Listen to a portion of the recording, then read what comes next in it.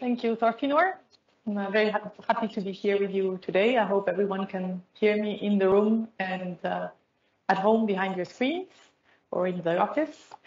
Um, I'm very happy to be here with you today in the EFTA house. It's the house of the EEA agreement, and it brings all the uh, organizations of the EFTA family together under one roof, except, of course, the EFTA court, which has to keep its distances from the political things going on in Brussels and they are in Luxembourg.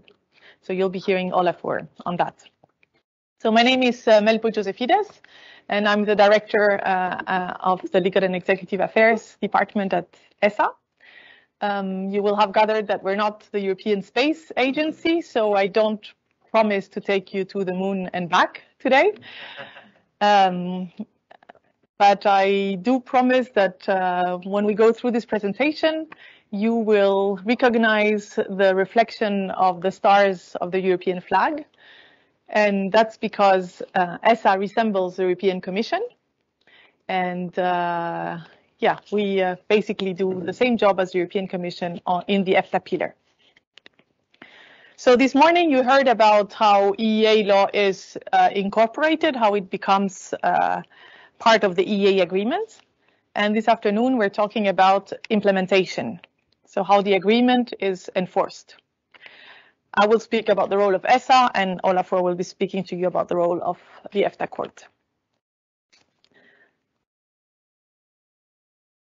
Very quickly, what is the EEA agreement about? Uh, the core of the EEA agreement is this extension of the internal market to the three EEA EFTA states, which brings uh, the benefits like the four freedoms, persons, goods, services, and capital, and also fair competition and environmental, worker, and consumer protection to citizens and businesses all over Europe. So in the EFTA pillar, the mandate of ESA, our responsibility, our task, is to ensure that there is compliance in these three states with EEA law. So for the lawyers in the room or those who are interested in the architecture of the institutions, you will see that um, the role of ESA and the EFTA court, by the way, is rooted in um, the EEA agreement, which is an agreement which brings together both the EFTA side and the EU side in one single international agreement. But the precise mandate and the procedures we follow, all of that is found in the surveillance and court agreement, which is an agreement which is only decided by the three EEA EFTA states. So the existence of ESA is due to an agreement with the EU, but how we function is to be found in an agreement between the three EEA EFTA states. This slide you will have seen many times before and also this morning, but I still want to show it because I think it's very telling also in terms of this uh, two-pillar structure and the, the role of uh, where ESA sits. Um, as you see, the EFTA court sits opposite the Court of Justice of the European Union, so that's the reflection there, uh, the EFTA pillar on one side and the EU institutions on the other side. And ESA sits opposite the European Commission, as I was telling you before. So like the European Commission, of who we are a bit the mirror, our role at ESA is to um, do the, uh, the responsibility of compliance in monitoring and enforcing uh, European law. So if the Commission is the guardian of the treaties on the EU side, that's what's in the EU treaties, at ESA we are the guardians of the EEA agreement in the three EEA EFTA states. We don't have a legislative role like the Commission, that is taken care of by the EFTA Secretariat and the states themselves. So uh, we don't have a legislative role to play, but we have all the surveillance responsibilities that the Commission has. And um, it is very uh, interesting to note also that the EFTA pillar is a self-policing one, meaning that there is no interference directly in our institutions in the EFTA pillar from the EU side. So there is no participation in the decision making in, on the EFTA side by anyone coming from the EU. And uh, the fact that the EFTA pillar is self-policing, that it relies on ESA and the EFTA court to make sure that EEA law is applied, means that we have a special responsibility to have these rules uh, enforced in the EEA EFTA states. and that responsibility go back, goes back to the credibility of the EEA agreements. So the willingness of the EU to have such an agreement in place, I think it, if it were tested today, would not have been the same as in the 19th when this was decided. And the, one of the reasons why it is still ongoing and functioning well is this trust that the EU has that the self-policing mechanisms on the EFTA side uh, work well. So ESA checking the compliance and the court uh, overseeing ESA's decisions. So how do we decide in ESA? We have a new college since the 1st of, of January. Um, three members. Each uh, member is nominated by their own uh, country, but they are appointed uh, by the three states together. And it is our colleagues in the EFTA Secretariat who take care of the appointment decision. So uh, what you do in this house impacts ESA in, uh, in many ways. So college members sit for a four-year term and um, their appointment can be renewed uh, more than one times. And together they are responsible for uh, every decision which ESA makes in the course of its mandate to ensure the compliance with the EEA agreement.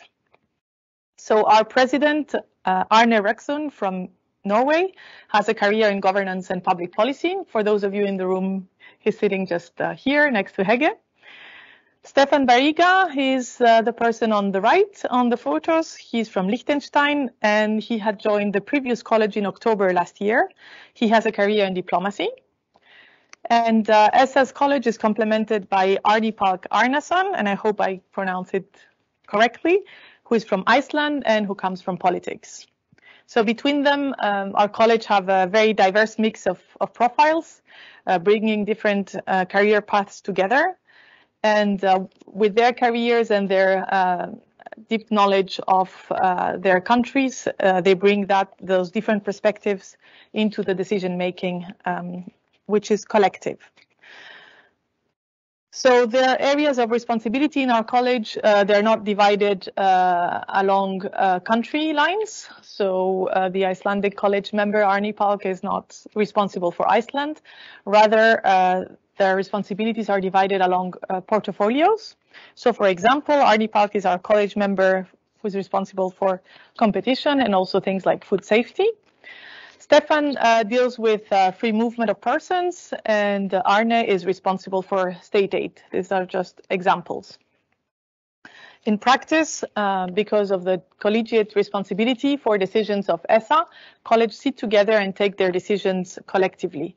That's called collegiality, and it's written in our rules of procedure, and it's a very important uh, principle to ensure that uh, ESA is a strong institution that makes um, good decisions. Under the responsibility of uh, college, um, the work is done by a great team of roughly 70 staff members, plus our trainees. And uh, if you compare that to the 32,000 commission staff members, you'll see um, the difference. Of course, the difference is justified by the fact that we don't have a legislative role, uh, but still I find the numbers quite striking.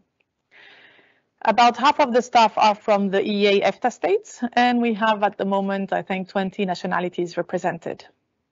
So we're not a big organization, we're not a large organization, but our mandate is pretty big. Um, we're an institution that takes care of its staff. There is a very high level of uh, satisfaction among our staff members. And I can say that since I joined ESA in July last year, I feel it in uh, every decision that we're making, that there is, uh, um, we have a, an organization that cares for its staff, for its well-being, and uh, gets the best out of, uh, of the professionals uh, who are around. Many of the staff members left their countries and moved with their families or alone to be here, and COVID has not been easy. But along the way, there has always been um, this uh, connection among people, whether in the office or remotely, uh, to make sure that everyone feels uh, well and has, um, if not a family, at least a support system here in Brussels. And I think that's uh, very important uh, because that's the conditions for which people uh, can give their best. ESA is also an institution that values uh, diversity, and we are very proud of the percentage of uh, women in, in management. we have four different departments, two directorates, which like the commission DGs are responsible for conducting case handling and investigating possible infringements, preparing decisions for college. And um, we have uh, my department, the Legal and Executive Affairs Department, which acts as the legal service on the one hand, so advising on future college decisions, preparing them, uh, checking that they're legally sound, and also conducting litigation, which I will be talking about later on.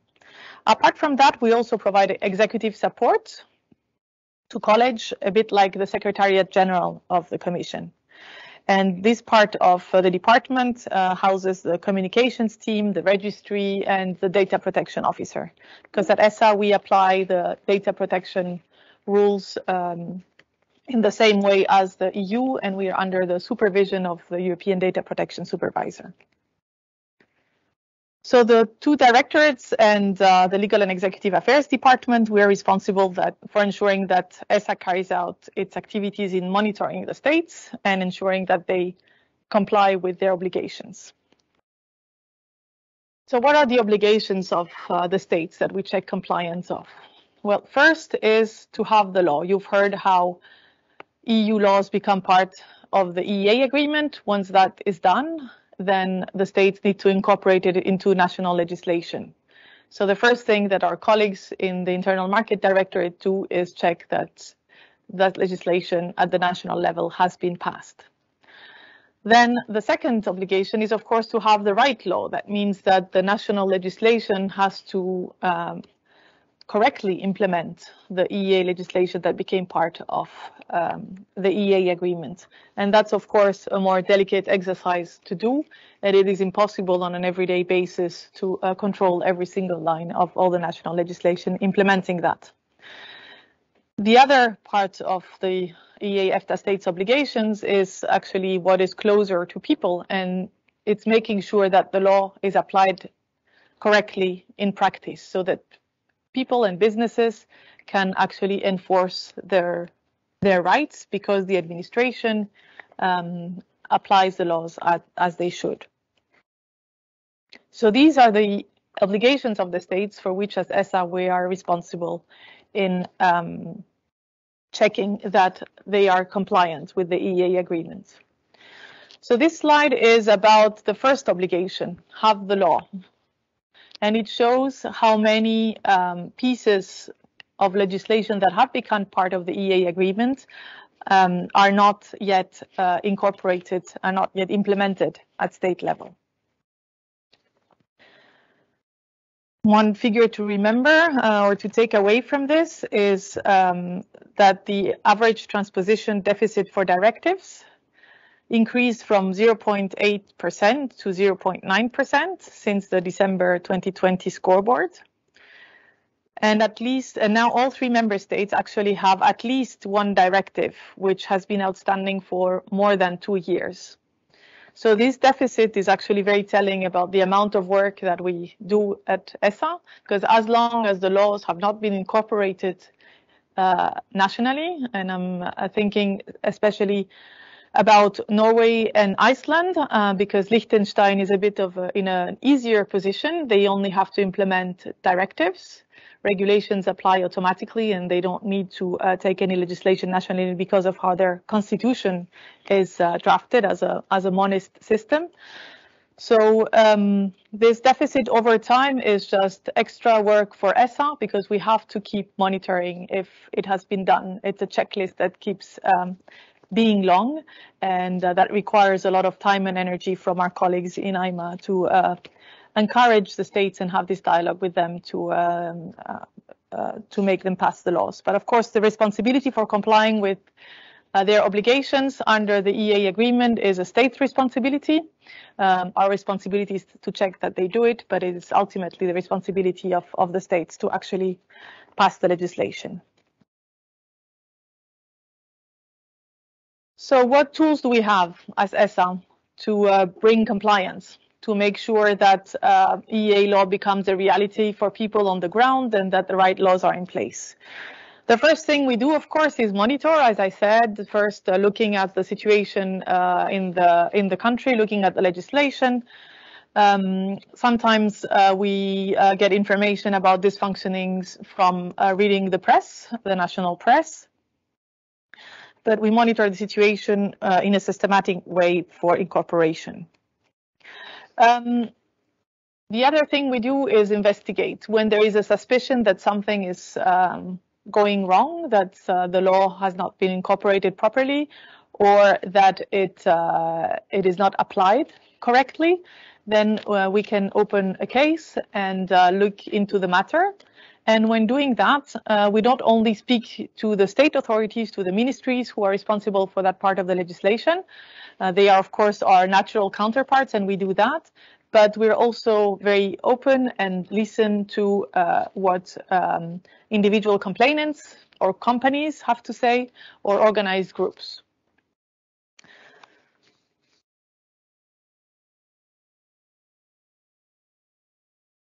We also conduct inspections, and inspections is um, can be about uh, checking that the food and safety authorities in the states um, actually check that the food safety legislation is uh, applied correctly so that the food that is in people's plates all across the EEA is safe to eat. And we also do inspection when it comes to competition. So when there is a suspicion of uh, abuse of dominant uh, position, for example, um, ESA, like the Commission, has the, the power to go into the private undertakings and ask for information and get what it needs to, to investigate. And the last uh, tool we have is, of course, the in case there's a breach of the competition rules, uh, fines to the undertakings for, for having breached those rules. And again, that's something that happens on the, on the commission side as well. At the core of these tools are the infringements. So um, after monitoring an investigation, um, if it turns out that our suspicions were correct or that indeed it shows that there, was, there is a clear infringement going on, Again, either, either because the law is not correctly incorporated or because it's not applied as it should be, then uh, we can start infringement uh, actions. So um, as I uh, explained before, anyone can file a, we get the information from private individuals so anyone can file a complaint. There is actually a, a, a page on our website where um, individuals can can go and file a complaint and raise a matter to the attention to our attention. We also can take uh, the initiative to open a case to investigate an infringement, and in in all cases uh, we will have a formal investigation. So once this preparatory uh, stage has happened and the formal investigation shows that uh, there is, we think, we believe there is an infringement, then what we do is issue a letter of formal notice to the state, asking them to comply within a certain deadline and uh, explaining what we think needs to happen for uh, compliance, how to apply correctly the EEA law. The state has the opportunity to either comply or comply and send us a response to that letter in case there was they think we misunderstood what is going on on the ground or the way they apply things. If we're still convinced there is a breach of EEA law, the second stage is a reasoned opinion. So that is the last stage where we have to have all our legal arguments together as to why there is a breach of EEA law. And we give a last chance to the state to explain themselves and justify um, what this, uh, the, the, their approach and how they apply EEA law. After that, we have to go through these two stages because um, in terms of a fair trial, the state needs to have had the opportunity to explain and defend its position if it's not in respect of, um, if it's not, if it is in breach of EEA law. After the reasoned opinion, the next step, if the infringement is still ongoing, is taking the matter to the EFTA court. So that materializes as an action of ESA against the state, asking the EFTA court to declare that there has, there has been a breach in, uh, in that state. So the picture is um, not very reassuring, very reassuring. At the moment, we have 212 uh, cases of infringements open at ESA. These are not court cases. These are uh, administrative cases dealt with our by our colleagues uh, in uh, ma mainly in the internal market uh, directorate. And these are cases that if uh, the if the compliance doesn't come at a certain moment in time, might have to reach the stage of the court. And here I'd like to take a moment to say a couple of words about how uh, we feel about going to court um, with the states. And um, I want to say that we uh, we think it's a very important tool, legal tool to bring compliance, but we always hope that at all of the stages that I described before, at the stage of the investigation even, or even at the stage of the letter of formal notice or the reasoned opinion, we hope that the dialogue we have with the ministry will um, convince the, the state to change the approach and come into compliance with EEA law. So uh, infringements, when they reach the court case, it's really because we've tried everything and um, we don't see compliance coming or we have no hope that it will be coming anytime soon. We need to uh, fulfill our role and take uh, matters to the to the next step. So I've talked to you about what is our main um, reason of existence as a compliance authority, as a surveillance authority, as ESA. Uh, and that's basically the work of our internal market directorate and um, in coordination, of course, with, with LIA under the responsibility of college. But apart from this compliance role, there is also um, a very big set of responsibility for ESA in the field of state aid and competition.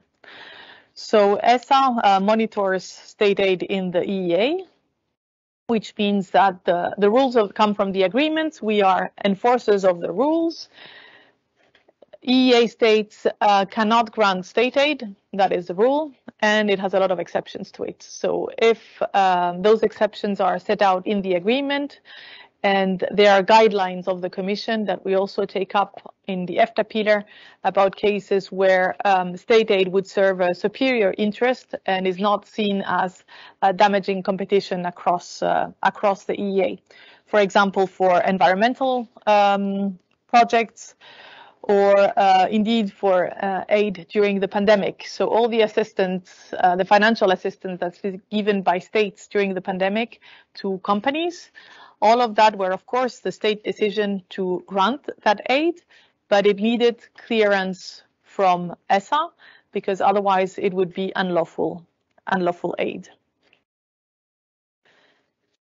The consequences of the aid being found to be unlawful are quite drastic because the state would then have the um, responsibility of recovering the unlawfully paid aid and that's just the minimum you can do if uh, if you have had aid that has distorted uh, the market.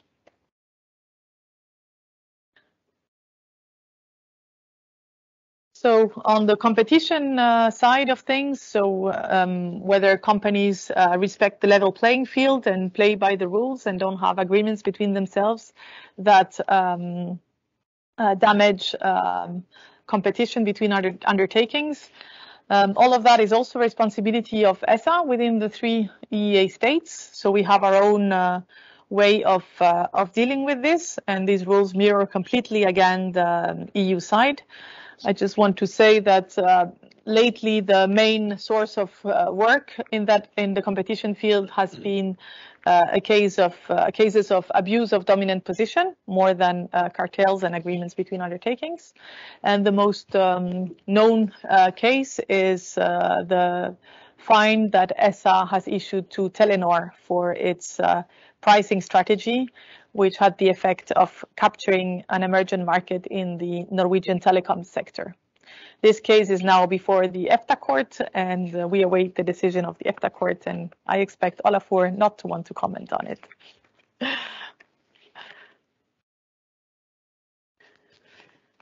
I also wanted to uh, spend some time to tell you about what has kept us busy in the past uh, months. Not everything, of course, um, but to say a couple of words about uh, the areas in which ESA is doing its part for tackling the challenges of the future and um, I thought it would be good to speak about uh, climate and the green transition.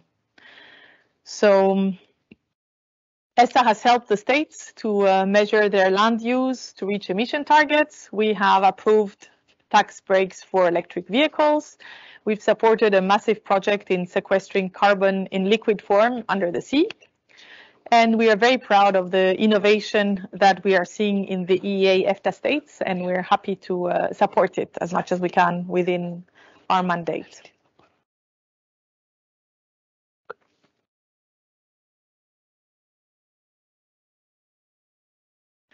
So before I start to uh, wrap up, um, a word about um, the last piece of the enforcement puzzle and um, how ESA is present at the court.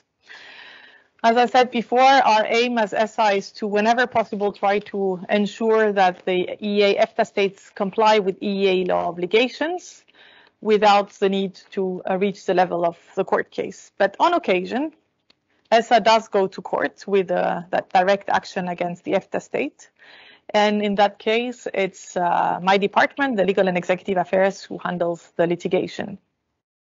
At the moment, we have 11 open cases before the courts, six at the EFTA court and five at the Court of Justice of the EU.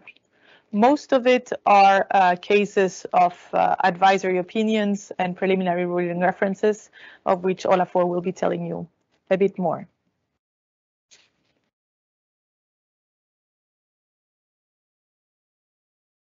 Apart from the um, EFTA court, uh, we uh, also uh, appear before the Court of Justice of the EU. And uh, on occasion before uh, national courts where they have the amicus curiae procedure, which allows external um, interveners to, um, to become part of the proceedings. Since uh, December 20, 19, um, the Court of Justice of the EU reversed its previous uh, position. And since then, both ESA and the EEA EFTA states have the right to participate in proceedings, in infringement proceedings in the EU pillar. So commission against France or Germany or Italy or Sweden, these kind of cases, which are about the same rules that we apply and enforce in our pillar, uh, as ESA and the, both ESA and our states have the right to intervene uh, before those cases, and that's something that is actually very encouraged on the EU side.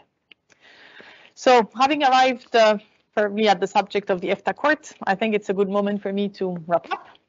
And um, I hope you have noticed not only the reflections of uh, the stars of the European flag in my presentation, but also the stars in my eyes um, when I speak about the marvelous EEA agreement and EU law. Thank you.